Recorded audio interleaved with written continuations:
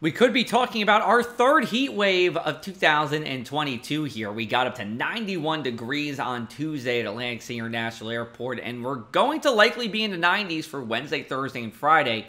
The definition of a heat wave three or more days with 90 degree or greater heat, and we certainly look to at least have a chance for that by the time we get towards Friday here. Now, the reason for this hot and humid weather is because of that high pressure system that is sitting just to the east of Bermuda on Wednesday morning. That brings a south to southwest wind around that clockwise spinning high pressure system. And as I put this loop forward, you see that it only gets stronger and actually moves a little bit further to the west as we go later into the week. So it is staying hot. It will be staying humid at least until Friday.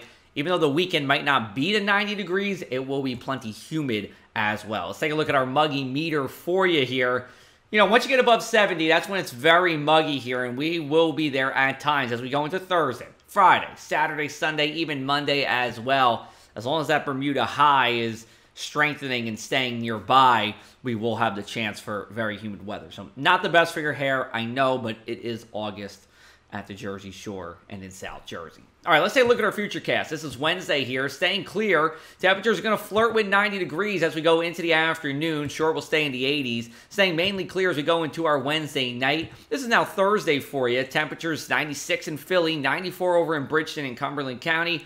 Uh, maybe you're going to Atlantic City. Want to hang out on the boardwalk? 82 is looking pretty good there. And as we go into Thursday night, still staying mainly clear. Friday morning looking good. It won't be until late on Friday that we start to see that rain potential again. We do need the rain here.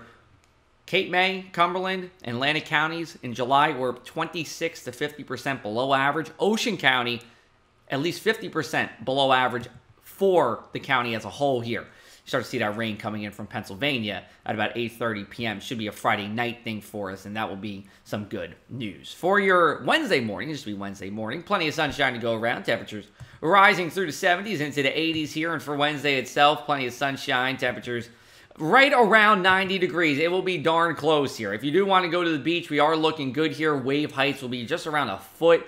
Uh, wave periods are on the lower end too, so that is good news when it comes to rip currents. Will be a low risk for rip currents, and we will have a southeasterly swell.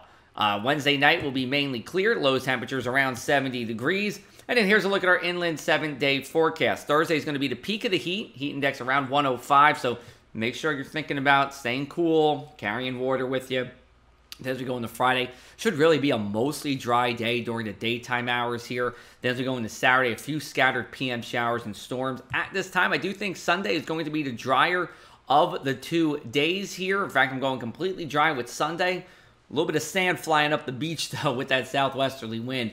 And then we see some scattered showers and storms from Monday and Tuesday.